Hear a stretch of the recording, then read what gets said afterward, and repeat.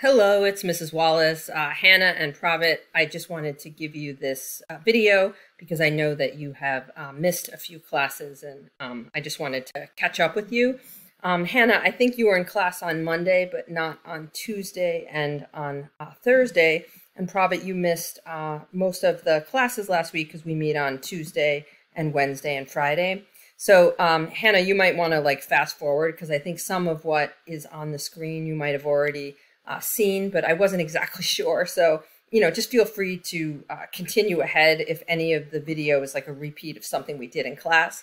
And I will try to just highlight some of the big takeaways. Uh, but this way, at least you have the slideshow and you have a place where you can ask questions. And then for class uh, tomorrow and Tuesday, you know, you won't be um, as as confused.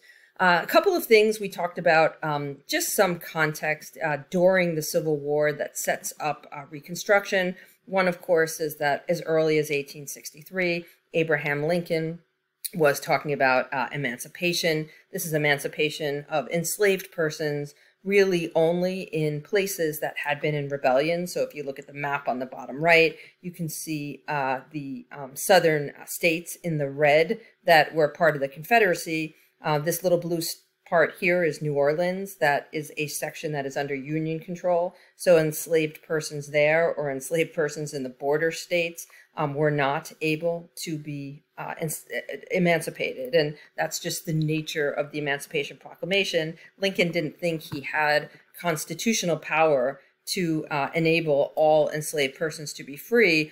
But because um, there had been rebellion and because the Union Army was already in the process of seeing some enslaved persons as contraband and seizing um, a great deal of Southern resources, enslaved persons became part of that. So Lincoln comes to write the Emancipation Proclamation because he felt that there was some constitutional standing for the federal government to be able to emancipate slaves um, in states that were in rebellion. And part of the idea was that states that decided uh, to come back into the Union and were going to agree to, um, you know, emancipate their slaves, you know, states could come back, in other words, into the Union. If they didn't by January 1st, 1863, then uh, the federal government was basically sending uh, the Union Army uh, to forcibly emancipate slaves. We also have a lot of enslaved persons that are in states like Texas that are way behind Confederate lines, and some of those um, enslaved persons aren't going to be emancipated until after the war is over. So the Emancipation Proclamation, you know, on one hand, doesn't really have, you know, this effect where all persons are freed. It's not really that case at all. There's limited numbers of people uh, who are freed a little bit at a time through the Emancipation Proclamation, uh, but it does change the nature of the war. And so it's a announcement, in other words, by the president that um, you know slavery is something that's going to end, and so it uh, has a huge significance in terms of the war. This is just a um, uh, an addition to the Emancipation Proclamation.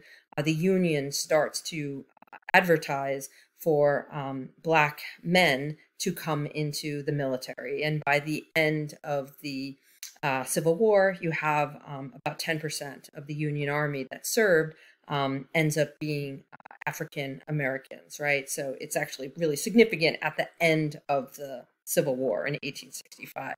Um, it's about 200,000 people altogether. Uh, this is all volunteer. Uh, only white soldiers were drafted. So there's a draft pretty early on. It's a controversial draft, but um, black soldiers um, will serve in segregated units um, led by white officers, and they have very significant um, experiences in a lot of cases getting assigned some of the more difficult uh, battles. And up until a certain point, uh, they are actually paid uh, less than uh, white soldiers. And that's something that's rectified in 1864, mostly because of Frederick Douglass. Uh, this is just an image of a black regiment, oftentimes coming from the same area. So you might have like the, you know, um, you know, regiment from Brooklyn or the regiment from a certain area of Massachusetts or whatever. Uh, so, you know, as um, certain regiments uh, became very affected in, in battle, sometimes, you know, communities lost uh, all of the uh, people in a regiment. Um, but it, the other uh, piece of context that's just kind of important as a political piece of context in 1864, uh, President Lincoln will rerun for president. And so this is odd because he's running in the middle of a war. The South is seceded, and there's a great deal of, you know, kind of controversy um, the election is largely going to exist only in the Union. The Confederacy has their own president. Jefferson Davis is a president. So this election is largely for states that are in the Union. But at this point in time, in 1864, the war is going on now for four years, and there's a lot of people who are discontented with the war. They don't like the fact that the war is not over. Uh, you get a lot of people in different political parties who want to see an end to the war sooner rather than later. And there are just some, you know, uh, additional criticisms that Lincoln gets. He will run against uh, George McClellan, who was once a general in the Union Army that Lincoln actually fired. So there's some like bad blood between these two guys to begin with uh, the spectrum of political uh, views, just like in Congress today, we know there's like a spectrum of uh, political views. We tend to have a few uh, different groupings. So um, on the Democrat side, the most radical group, and this was where McClellan would sit, would be a peace Democrat. Um, and these are peace Democrats in the North. You know, Democrats tended to be the party of uh, the South and party of slavery, but we also have some Democrats in the North. And these are some cases like some uh, people who are businessmen who wanted uh, to go back to um, engaging with the South, kind of a pre war state of affairs. Um, with an immediate arm armistice and an end to the war, um, just kind of returning, you know, the country back together for the purpose of doing business and the purpose of um, connecting the North and the South. And this kind of, you know, completely ignores the uh, interest in the rights of free people or the interest in uh, slavery as an issue. It's kind of a uh, movement that that's not as significant. You have in the middle uh, moderate Republicans, which is really where Lincoln sits. He's a moderate Republican. He wants to win the war. He wants to preserve the Union. And there's acceptance now that in addition to not having slavery in the West, slavery in the South can be abolished. So this is like a big change up in the middle of the war for moderate Republicans. War Democrats are kind of on that same page. There's also Democrats who see that the Union is key. The Union needs to, you know, win the war and slavery is going to be abolished. That's something that's going to be expected. But this is a group of people who largely don't see that the future uh, rights for freed people are going to include like the vote, and that's in northern states. Even though northern states had gotten rid of um, the um, uh, uh of slavery, right by 1860s, um, states have either gradually emancipated slaves or have banned enslavement. So you end up with um, the northern states not having slavery, but not all the northern states offer uh, the right to vote or other uh, types of civil liberties for African Americans. So, um, you know, that is something that we don't see. Radical Republicans, you know, are the group of people in Congress uh, who is going to be for abolishing slavery. That's like the first step. And then political equality for Black Americans. So the additional piece of Reconstruction for radical Republicans will be, you know, the 15th Amendment, right to vote, citizenship, uh, mandating citizenship, um, you know, things like that. So um, the difference in these groups is very significant, and Reconstruction is kind of happening in the context of these different um, factions. Okay, so we have radical Republicans, this middle group, like kind of where Lincoln is, and then this other uh, Peace Democrats group. Uh, you can see in 1864, Lincoln does carry the election. Uh, he actually wins uh, significantly. Um, you can see the Confederate states. So if you kind of get an idea of some of the Confederate states, you know, Virginia, North Carolina, South Carolina, Texas, and so on, you can see uh, some of the northern states in the blue, right? So the states uh, that are uh, fighting, you know, and you also see um, the uh, blue and the red.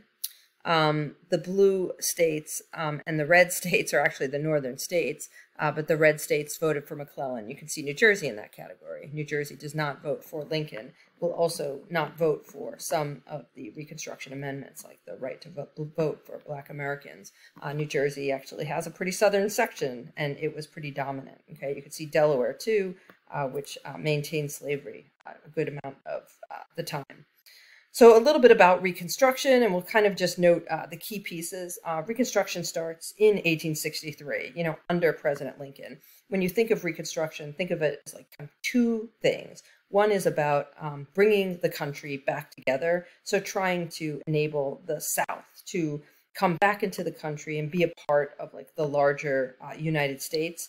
This means bringing Southern delegates back into Congress. This means kind of engaging again in, uh, you know, all of the, um, you know, kind of uh, things that were conflicts. And this is also going to mean an end to slavery and to some degree a conversation about rights for free people. So um, uh, Professor Blight from uh, Yale University often describes this as a question of like healing and justice. There are all these issues of like how to bring the country together after years of war and then there's this other question of like, what kind of rights, you know, will people have in this new society, especially uh, in the South, where 4 million people who were um, enslaved now are going to be, you know, uh, free people. What kind of rights will those people have? And who will protect those people? States, you know, federal government. So there's like a lot of questions. Lincoln comes up with a plan that's like often described as pretty loose. And this is like during the war. It's called Proclamation of Amnesty and Reconstruction basically says, you know, uh, listen, we can have,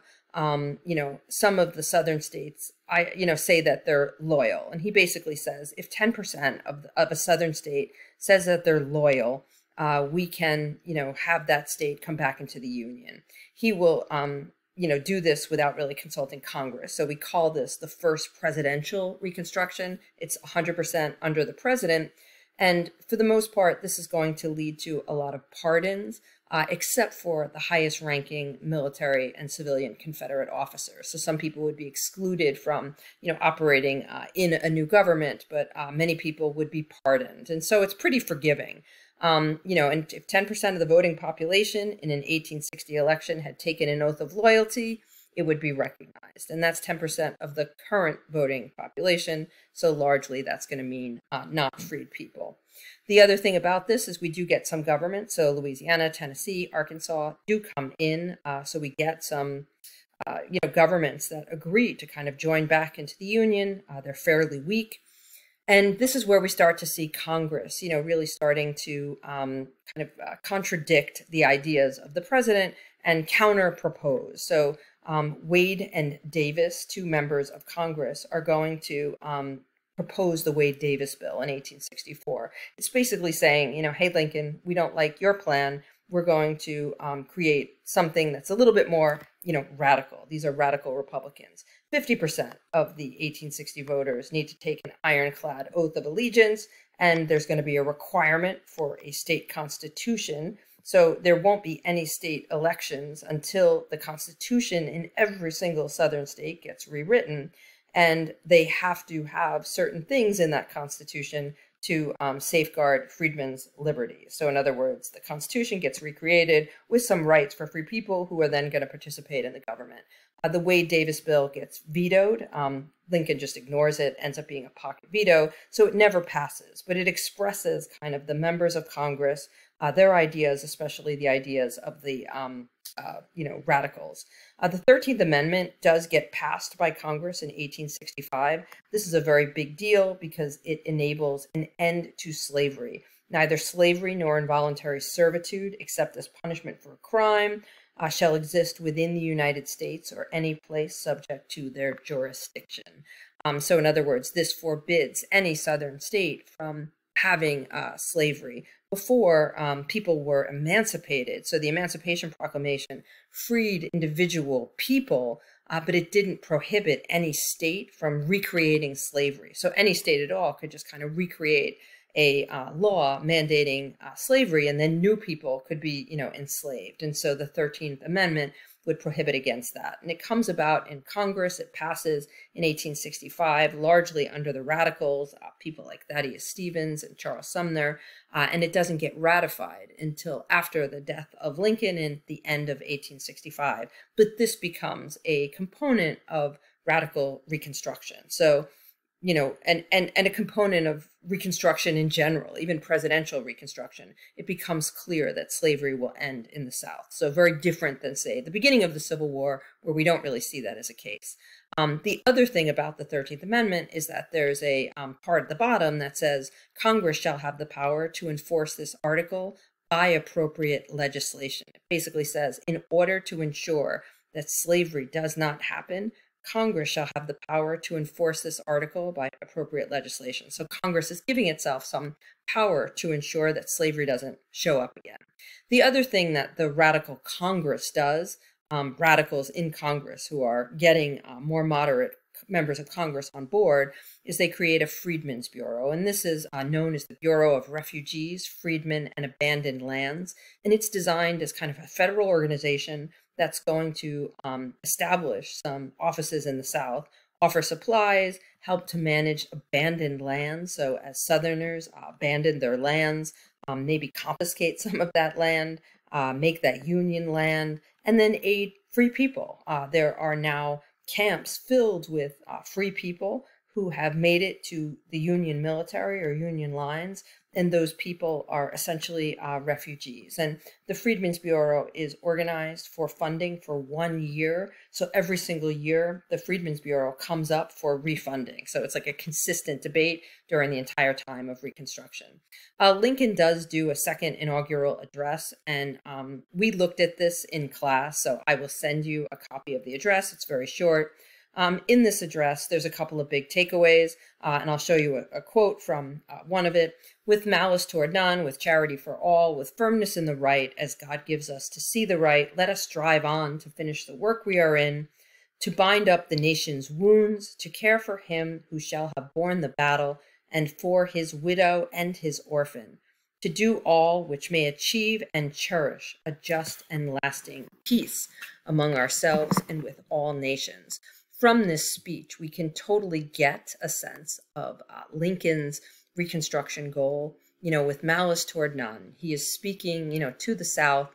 We do not have any, you know, hatred for you. Please come back. We will care for the widows and the orphans. And, you know, he's speaking to Southern states in this. So it's a very um, kind of a pointed speech to try to ensure to the South that you know reconstruction is kind of the way to go that you know establishing the union. There are other parts of the speech so when you look at the other parts of the speech he does comment on the significance of slavery as a cause of the war and he also comments on kind of the the sin of slavery if you will. So do take a look at that speech. Um, lincoln of course uh, delivers that speech in march of 1865 um, and is assassinated at ford's theater um, in um, April of 1865. We watched a brief video about this in class, and I will send that to you as a link. Um, we also looked at some documents, and this is where you're going to uh, be wanting to catch up. There's a few documents that we looked at in class, um, and there's four of them, and they all reflect um, the end of the war, either like 1865 or even, you know, like before the war ends or 1865, just as the war is over they reflect um, issues related to the rights of free people and what free people um, define as what they anticipate as freedom. So, you know, one way of looking at Reconstruction and evaluating it is getting a sense of how much does it actually bring rights for free people and we could ask you know what did free people you know think that they needed and wanted? And so some of these sources speak to that. Uh, the first source is uh, and i think i might have given you an audio clip on these sources but the four sources are all based on either conversations speeches descriptions of uh, free people who are writing or speaking, you know, what freedom will mean to them and the way in which they see freedom. So, you know, look at what does that mean? And the one uh, source to spend maybe the most time on is the letter from Jordan Anderson, who's a free slave in uh, Ohio, but was emancipated and was earlier a slave in Tennessee. And his old slave master writes him a letter asking him to come back and, uh, you know, maybe for pay. It's not really clear and he writes a very um, you know kind of snarky letter in return and uh, you want to get a sense uh, to jordan anderson you know what is it that freedom means based on the way he wrote that letter. Uh, one other thing i noted in classes um, something that lots of historians uh, who have been doing research on the end of civil war have noted that lots of free people actually immediately start to put ads in the paper to find um, members of their family. So this is one of those ads Information wanted of my son, Alan Jones. He left me before the war in Mississippi. He wrote me a letter in 1853, in which letter he said he was sold to the highest bidder, a gentleman in Charleston, South Carolina. Nancy Jones his mother uh, would like to know the whereabouts of this person. Um, and the information can be sent to uh, the pastor of the American Methodist, uh, American, uh, the AME church. So it's, it's an interesting um, letter because you know this is like 1853 this is now being written and advertised in 1865 about 12 years you know after this individual was sold into slavery. Um, but it gives us a sense of you know what freedom is going to mean to a group of people that didn't have it. You know people are going to go find uh, their family members right? So this like atrocious part of enslavement where people are separated from their family you know it ends up being a, a key part okay I'm going to skip that just so we can go to um, some of the other things. Uh, this is where some of the homework um, over the week, uh, you know, developed. Uh, we went over some of this in class. President Andrew Johnson is the individual who replaced Lincoln. He uh, is kind of a funky, um, you know, replacement uh, he was a political pick for Lincoln in 1864 as vice president. He is probably leans a little bit more to the Democrat side. Uh, he was a lot more of a white supremacist, perhaps, than uh, Lincoln was. Not to say Lincoln was an abolitionist, he wasn't, but um, you know we have a little bit more of like a Southern um, understanding when it comes to Andrew Johnson. But he also grew up poor and was kind of resentful of the planter class, and so he wasn't like a huge fan of slave um, power either. And uh, he also was a unionist. So he's like the Southerner who's a unionist who kind of stayed in Congress, uh, even though uh, the South seceded. He comes up with a plan that's really not too different than Lincoln's on a lot of levels, and also something that is very um, uh, loose. Okay, so basically, um, he, there there's not even a percentage of people who have, have to you know be loyal, uh, but people can be um, Southern states and people can be given amnesty, you know, for serving with the Confederacy upon a simple oath. So basically, there's like an oath that's printed, you know, on um, uh, Schoology. You can see the oath. Uh, there's an oath that people have to say, and then even if they were a military officer or whatever, they can be um, given amnesty and kind of come back and serve, you know, in their state government. Um, if they were people with property over twenty thousand dollars, then they couldn't just take the simple oath. They actually had to be pardoned by Andrew Johnson personally in Washington, D.C. So he made like all of these people come and grovel, uh, and they do. So we end up with lots and lots and lots of people who are previously involved in the Confederacy now in um, this place of amnesty. In new constitutions, the South and Southern states would have to repudiate slavery, so they have to accept the 13th Amendment. Johnson you know, formalizes that. That was the reason for the war, and um, his plan includes the 13th Amendment. It also includes that they would have to, you know, not be seceded, and they also um, won't have the federal government pay any Southern debts. Okay, so these things would be, you know, kind of repudiated. They also would name uh, a provisional governor, um, and you know, this Johnson would be naming these provisional governments governors, and they would oversee elections for constitutional conventions. So there would be a new state constitution, uh, but this would come down uh, through uh, Johnson. And most of the people who would be involved um, would be, you know, people who were leading Confederates. So like kind of the leading planter classes that were at one time slaveholders and then become, you know, Confederates now would become, you know, leaders of the South. And so there's a great deal of alarm about this. And the reality is that Johnson will grant lots of Southerners pardons, and you end up with um, a uh, constitutional process where state constitutions will fall short of some of what they're supposed to do. They might have embraced the 13th Amendment, but they also create black codes um, that largely bring back some degree of slavery. So there is a huge amount of um, uh, kind of looseness that's happening in the South. Under Andrew Johnson, you know, Southern states are getting to uh, do a lot of um, the constitutional uh, process, you know, without really making that many changes. And to radicals, this is not going to be enough. And the black codes uh, become very uh, important. You looked at one from the state of Mississippi uh, that really um, is pretty strict. You know, not only can um, people who um, are black, not um, and previously enslaved, they cannot have um, any access to weapons. They cannot um, have any, you know, means to assemble uh, in groups. Uh, there's a lot of prohibitions about behavior. So, you know, a long list of behaviors that can get them arrested. Uh, they also have to have a job and they have to have a home. So in this like transition place from becoming largely like a refugee to becoming something else uh, can earn somebody an arrest.